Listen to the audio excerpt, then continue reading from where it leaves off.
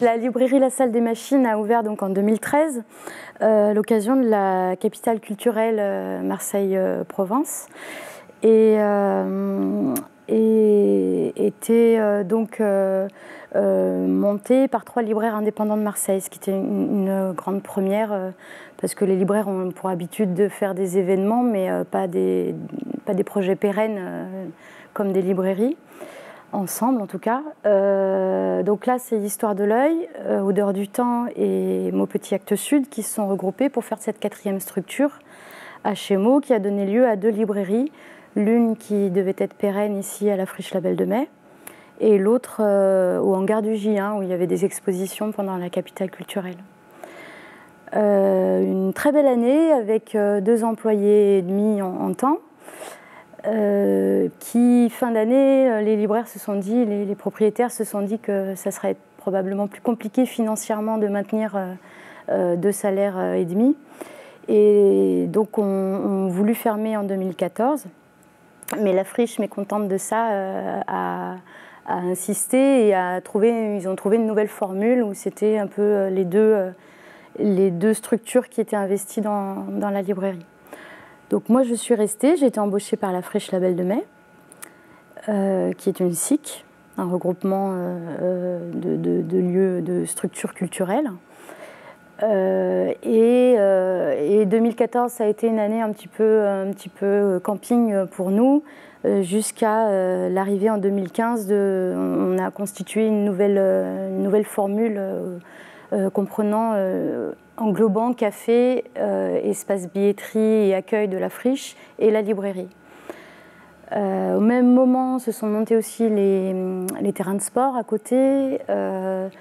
Euh, et les nouveaux espaces jeunesse. Donc ça a aussi apporté un, beau public pour la librairie et ça a surtout constitué un petit pôle à la friche euh, euh, qui faisait réellement accueil pour le public. Donc c'est une librairie un peu particulière qui se veut pas tout à fait librairie de musée, mais qui est quand même inscrite dans un, dans un centre d'art. et qui a quand même la volonté d'être tournée vers son quartier en faisant aussi plutôt des fonds généralistes littérature, euh, jeunesse, euh, art, BD, euh, cuisine, ce qui est un peu particulier parce qu'on travaille beaucoup avec les, grandes tables qui sont propriétaires du café aussi en bas. Pour le travail des offices, je suis très peu visitée par les représentants. C'est une toute petite structure, cette librairie. Donc ce travail-là est assez compliqué et d'autant que je, suis comme étant seule à faire les choix euh, ça se fait pas dans un truc de discussion. Moi, je fais surtout confiance à des éditeurs que j'aime bien, souvent petits éditeurs indépendants, comme ceux dont, on, voulait parler là. Euh, je fais confiance d'abord en ces catalogues-là, ensuite, ben, la presse, un petit peu, euh, beaucoup Internet. Euh, et, puis, puis moi, je n'hésite pas à aller voir mes confrères euh, discuter. Bah, déjà, moi, quand j'étais embauchée à la salle des machines, je n'étais pas libraire à la base, euh, mais je travaillais déjà beaucoup avec les, libraires de Marseille, donc j'ai l'habitude de faire un peu des tournées aussi avec eux. Et, et c'est aussi là que peuvent venir les choix. On a, oui, il y a le site de, il y a premièrement le site de la friche sur lequel on a une page. Il y a quelqu'un qui travaille euh, à plein temps sur euh, tout ce qui est réseaux sociaux et le site de la friche. Donc elle, elle nous appuie euh, énormément. elle fait sur Twitter et Facebook ce qui s'appelle le vendredi lecture. Donc tous les vendredis, on lui donne un petit conseil, on fait, une photo sympa dans la friche en lien avec le bouquin. Et, nous-mêmes, on le relaie sur la page Facebook de la librairie. La clientèle de la salle des machines, c'est euh, les gens qui travaillent à la friche, ce qu'on appelle les résidents ici, ou les frichistes. Euh, parce que c'est 70 euh, structures, c'est beaucoup, beaucoup de gens qui travaillent au quotidien et qui, pendant la pause à midi, vont chercher leur sandwich, mais sont aussi vite attirés par le lieu. Il y a aussi beaucoup de gens du public le week-end, euh, le dimanche et le samedi, les gens viennent balader en famille, viennent euh, au jeu au-dessus ou voir des expositions. Et puis du coup aussi le public des expositions elles-mêmes les spectacles. Mais c'est aussi de plus en plus euh, des gens du quartier. Bah, par le biais du PLJM, c'est le prix du livre Jeunesse Marseille qui est organisé ici. C'est une collaboration entre librairie, bibliothèque et école Moi, j'ai cinq écoles chaque année avec qui je travaille sur promotion d'un livre en vitrine par les enfants.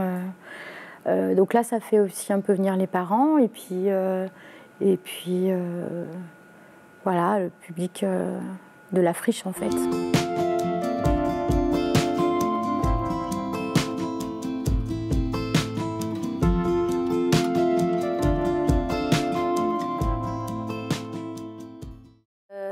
l'histoire et de la, de la soucoupe et le perroquet racontait un, relativement jeune homme et sa mère, lui, euh, qui, euh, qui, décidait de fabriquer une soucoupe pour partir euh, dans le triangle des Bermudes, où il a eu une révélation.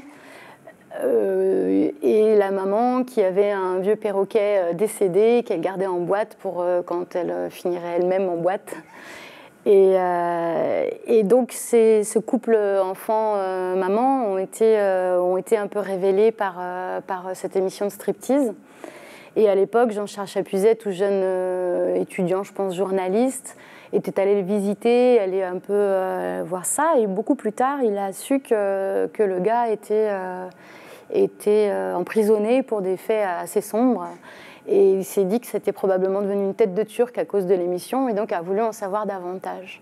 Et il est allé à la rencontre de ce gars et là, dans, ce bouquin, Mauvais plan sur la comète, édité par Marchiali, il, euh, il, raconte toute la vie de ce type, une véritable épopée euh, où le gars a fabriqué deux secoupes volantes. La première n'était pas volante, d'ailleurs, elle, elle, allait dans l'eau. Euh, il a traversé pendant trois mois et demi l'Atlantique.